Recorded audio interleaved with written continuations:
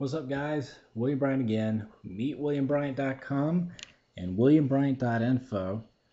Wanted to show you real quick how you can actually go into your WordPress installation and very quickly add new themes and change your theme on your WordPress blog. It's very simple. So we log into our um, WordPress backend here, our dashboard. If you don't know how to get there, you go to your website domain name.com slash wp hyphen admin you go there.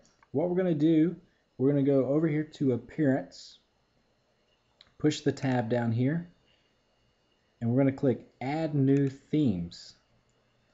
WordPress has made it very, very, very, very, very easy to add new themes. Um, we can search the wide selection directly from our back end tool here. Um, we can click upload there and just choose if we want if we found a theme somewhere and we want to upload it um, then I don't think I have any on here but uh, we can automatically upload it and install it right there. It must be in a zip format and that's a really easy way if you find one somewhere browsing on the internet and want to download it that way. Um, and also you can I like to browse this a lot browse the featured and the newest to see kind of what people are looking at, what's kind of most popular right now to kind of filter through and see what some of the coolest themes are. So check out this one. This one's pretty cool. You just hit preview.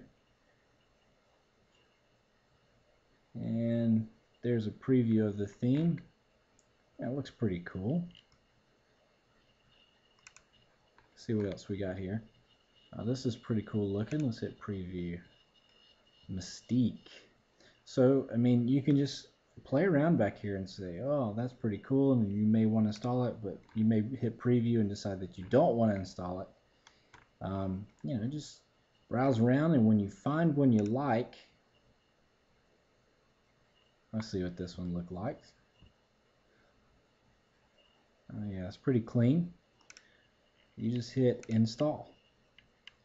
It'll pop you up to make sure you're sure. Install now successfully installed. Now, this is what our site looks like now. If we want to preview how our site will look, we can do that. And it's going to let us preview what the site would look like. Or we can just go ahead and activate it right there and says new theme activated. And that's all we had to do. And it's really there's a ton of themes back there. Now if you re refresh our site there's our new look. And that's how easy it was.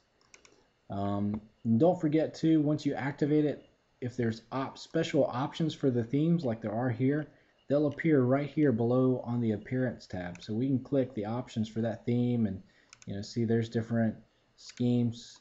You can change the background color page colors uh, move the sidebars around different things like that. Different themes may have their own options. They may not. They don't always. Uh, just take a look see if yours might or may, may not.